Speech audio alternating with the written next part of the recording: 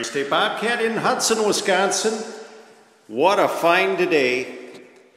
We've got a Kubota B26 four-wheel drive loader backhoe. And get this, just 22 hours. Like new. Got the canopy on it. This is a 26 horse, it's a 1.1 liter, three cylinder Kubota diesel. Runs great as you would expect.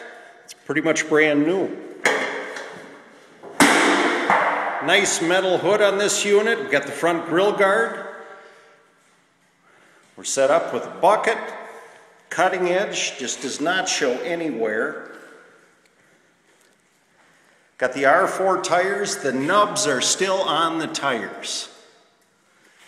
And that goes for the rear tires as well. You look in between the tread here, nowhere. Hydrostatic four-wheel drive. Great little backhoe, good response on it as well. And I mean, I just showed you the reach here and then the, the you know 90 degree angle pretty much uh, we're set up at. So good swing to the side on this one. That backhoe will dig down 8.3 feet, uh, 99.8 inches. It's got an 11 foot two reach. Nice solid construction on it. Uh, bucket, four teeth, few scuffs on it, just about ready, uh, you know, the paint's scoured off pretty much. No scrapes, just a few shots of grease on it. Lights are all in order. Got our stabilizers.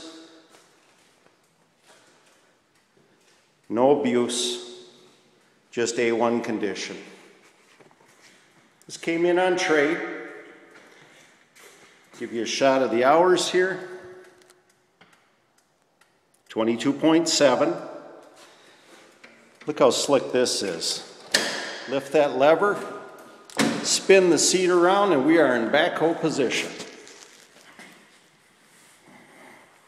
Easy step up into the machine. It's kind of nice the way they've set this up. The key is off to the side. Throttle.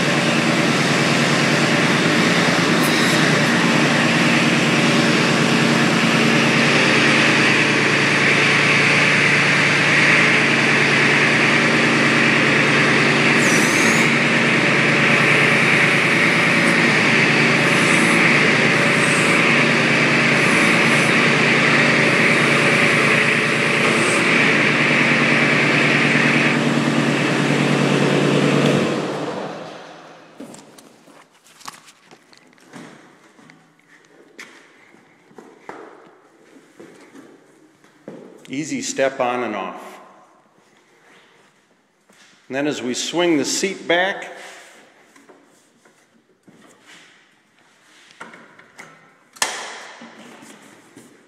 Remember those old back backhoes where you had to flip the seat and it took three pages of instructions? No more. So we got our uh, throttle, our joystick for our loader, hydrostatic foot pedal forward and reverse. Three speed ranges, gets up and walks pretty fast. Um, and then of course all of our controls here for lights and flashers. Full wraps on it with a poly um, sun cover on it. Nicely set up.